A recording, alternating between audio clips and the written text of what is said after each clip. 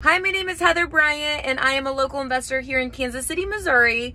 Uh, Dave Dodge is the reason why. I have been in the business for four and a half years, and I had seen him doing things, asked him, called him up, and was like, What are you doing? Like, you are killing it.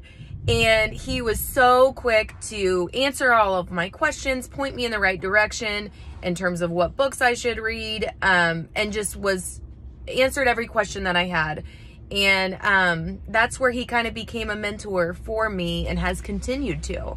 Uh, I will call him to this day, and I've, I've again been in the business four and a half years, and he will always answer and is so, so willing to just lend a hand and lend an ear, and is such a good mentor because he keeps it to the point, you know, and keeps it simple. And so I would highly recommend him um, again, because he's, he's so helpful. He's so helpful, honey. Yes. And we really appreciate it. It has helped our life. And thank you, Dave.